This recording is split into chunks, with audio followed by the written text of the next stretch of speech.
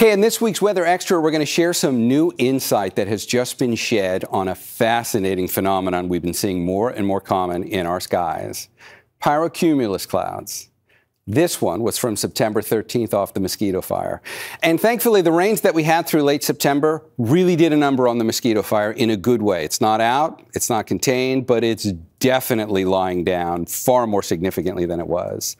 But on September 13th, it was doing some really dramatic things. It was producing another pyrocumulus cloud. You can see the tops of it are poking up above the lenticular cloud that developed above the fire. There was a lot going on in this image on September 13th. The lenticular cloud is how this fire was shaping the weather around it. Lenticular clouds typically happen over topography. When the winds are moving very fast in the atmosphere, you get those clouds that look like UFOs. Well, we just happen to have one of those develop right above the mosquito fire on September 13th, and then the pyrocumulus cloud was extending up through it. We've wondered about pyrocumulus clouds over the last few years as we've seen more and more of them. Are they getting taller? Are they getting bigger? And as of last week, a paper that was published in the journal Nature answered that very question. One other way of looking at this, we'll switch over to the weather computer. It just so happened that when the mosquito fire was happening, there were researchers looking at it from every angle. They were flying around it in planes using LIDAR. They were driving to ridge tops where they could get a clear view inside of the plume using radar as well, something called the California Fire Dynamics Experiment this year, studying these fires in far more detailed ways than we ever have before. This is what it looked like on the mosquito fire when you took a scan of the plume, and it's showing you how high the pyrocumulus clouds were going. The scale over here is in meters, so when that top of that cloud gets up to 10,000, that's telling you the top of the cloud was at 30,000 feet high. That's how high you are when you are in a commercial airplane flying across the country. These are the kinds of things now that actually have to redirect flights around them because the updrafts have gotten so intense and because they're getting higher than they used to. And here's how we know that now paper that came out a uh, week before last in the Nature Journal titled Wildfire Plumes in the Western U.S. Are Reaching Greater Heights and Injecting More Aerosols Aloft as wildfire activity intensifies. Aerosols, another way of saying the particulate matter, that small stuff that gets produced when you burn organic or not organic material, anything really, but it's the small stuff that gets into the air and then ultimately can get into our lungs, which is the primary concern for this stuff.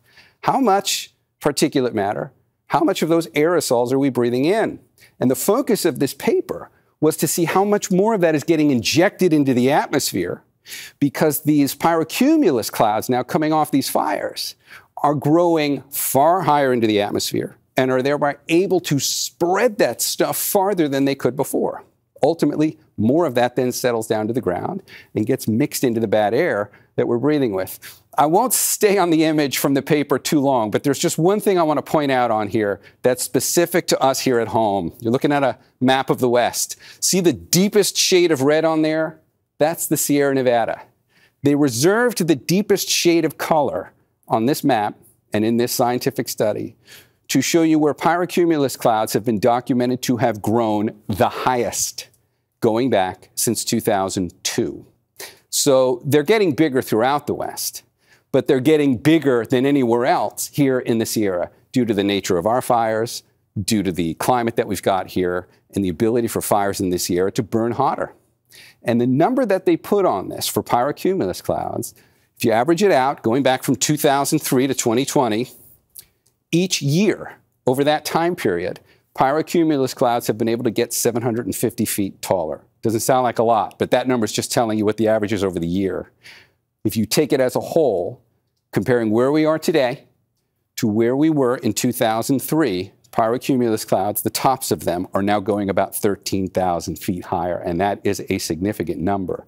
And it's now documented as of this recent paper out of nature. We've certainly been seeing them more. You no doubt have heard the term more in the last few years than you ever did in your life, and we all have in the scientific community. We didn't discuss these much at all. They've always happened, but they're happening more often now, especially under this fire regime. And now we know that they're actually documented to be growing taller and to have an undesirable effect on making the air quality a little more difficult to breathe. We can go back to that video from September 13th. It was incredibly dramatic to look at this on that day. Pyrocumulus clouds are always going to be impressive. The lenticular cloud just added to the drama on this.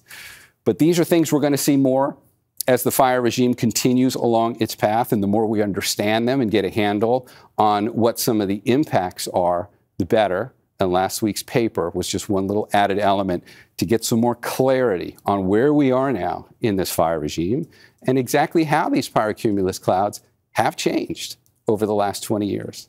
That's this week's Weather Extra. Paul Heggen will be in next week with another one.